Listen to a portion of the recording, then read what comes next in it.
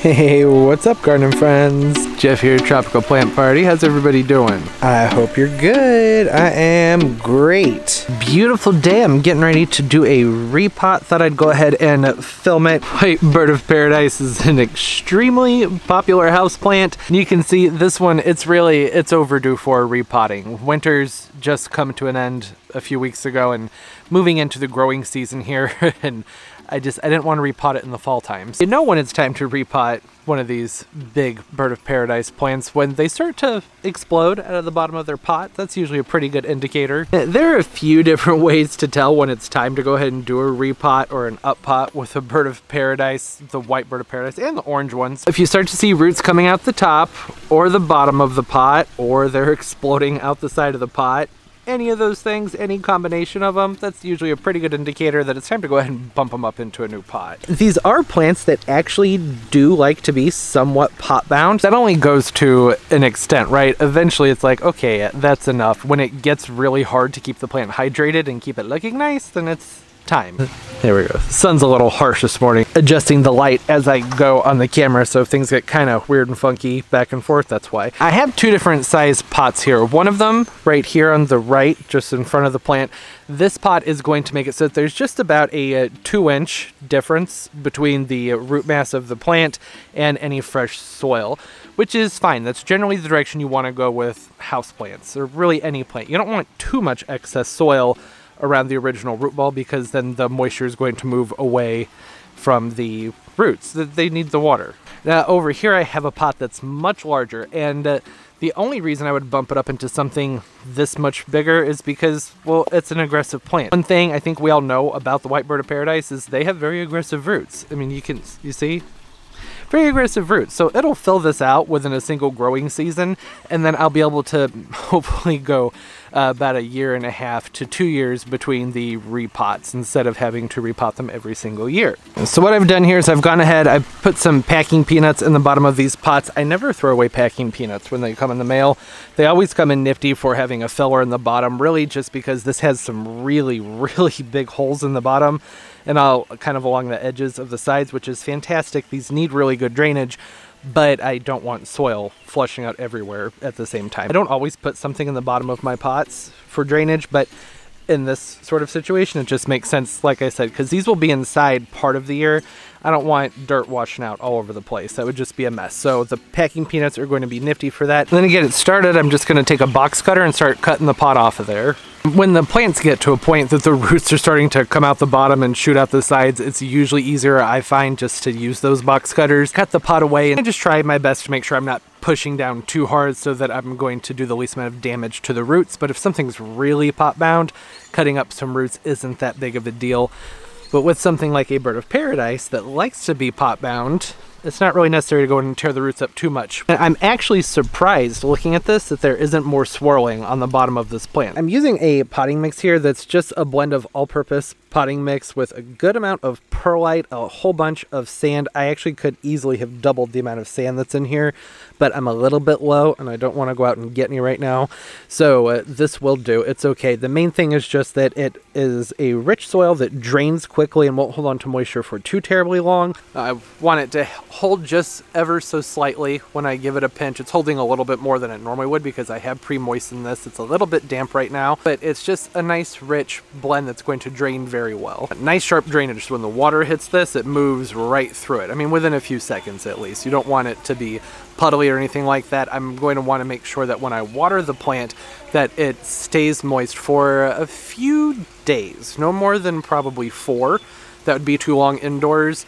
Outside it's going to dry much more quickly than in the house. Since this is a larger plant, the way I like to go ahead and make sure that I'm getting my depth proper as far as my potting soil that's in here, I've already put a little bit of soil in there. I'll do is I'll take my shovel and put that right up against the edge and line it up. And then I can look at the shovel and say, hey, how big was that root ball? And it was pretty much the same size as the actual spade on this, the actual shovel. I'm gonna want my planting depth to be right around there. Man, the lighting's terrible this morning. I'm gonna put a little bit more in here just so that there's some room to settle. So if it's a little bit high, it can settle down a little bit lower. I'm just gonna drop this in there. This is when I'll take my hand and just very lightly loosen up that root mass a little bit. Like I said, this is a plant that kind of doesn't mind being pot bound, so if their roots become kind of wrapped, it's not the end of the world, but you don't want it to go too far. And it, just loosening it up just a little bit is all it's going to take, just that light touch. That's all it needs to go ahead and get the roots to start to spread out around the rest of the pot. Just gonna fill in around all the edges, lightly pull the plant in one direction and then in the other and pat the soil down gently. It doesn't need to be too compacted. And then of course, water it in. The soil's already pre-moistened, but I wanna make sure that the water actually does go through, flush out any bubbles, anything like that, and just get things settled in nicely. Yeah, now that I have it repotted, you can see, I mean, the poor thing, it really needed it. With it being so constricted and its old pot, it just wasn't able to get all the nutrients that it actually needed to produce nice, healthy, lush growth. Hence why it looks like this. It's not good. It was just basically growing it hydroponically when you get to a point where it's relying on fertilizer to get any nutrients at all because the roots have pushed all the soil out of the pots.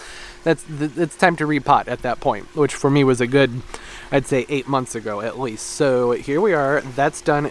I will keep this in a spot that doesn't get bright intense light just for a few weeks, just until it's kind of established itself into its new container. I'll probably, I'd say it maybe like four hours or so of direct morning sun and then filtered light throughout the rest of the day. I'm going to keep it in a spot like that for probably a good six weeks, something like that. It's just because the plant's going to need some time to start pushing its roots out into this new pot to be able to take up water and nutrient and everything. If I put it right out into full sun, then you'll see how these leaves curl up here they're crowing there, they're crowing over here. It's just the plant's defense mechanism against getting too much sunlight. They go ahead and crimp those leaves up so that they can get through a little bit longer. It can be due to other things. There are a lot of reasons that plants will fold their foliage up, but in this case, that's what was going on up there. I couldn't keep it hydrated while it was in full sun. So now what I'm going to do, in addition to just tucking it back into a uh, part sun, part shade location, I'm also going to wait on removing these little dead leaf bases. That's only because I've already done a lot to the plant, so I at least want to make sure it gets a few days to rehydrate itself. I watered it like an hour before filming this video, but you could see that root ball was still bone dry because there's nothing else in that pot to help hold in any moisture.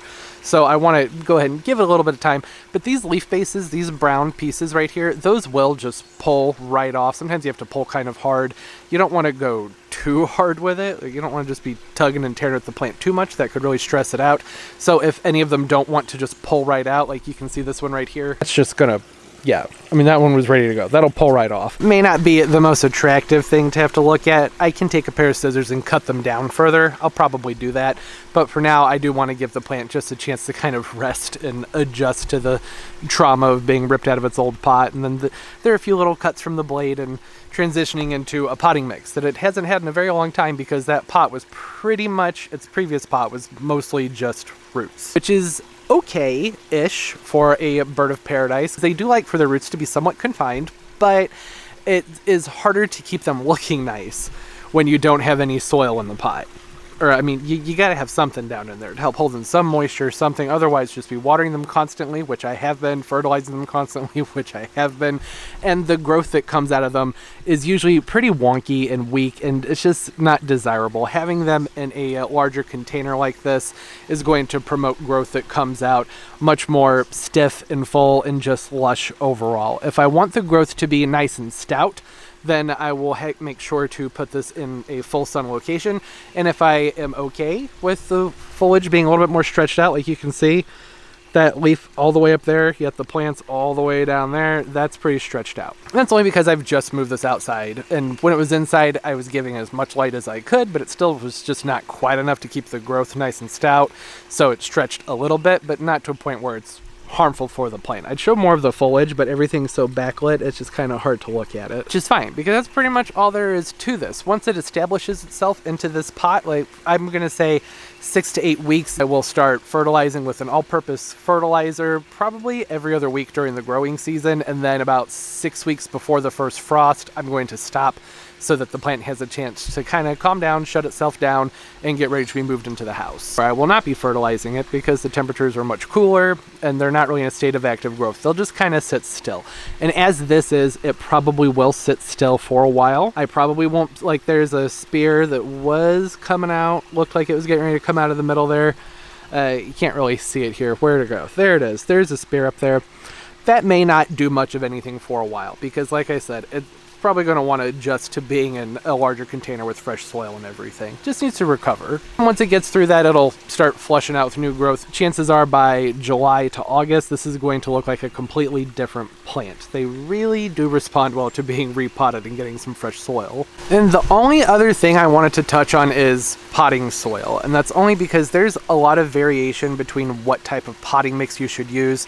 Bird of Paradise, White Bird of Paradise, they are a pretty versatile plant. They're pretty tough. They can grow in a pretty wide range of mixes. Now, in a pot, the main thing is just that it drains well. That's the more universal thing.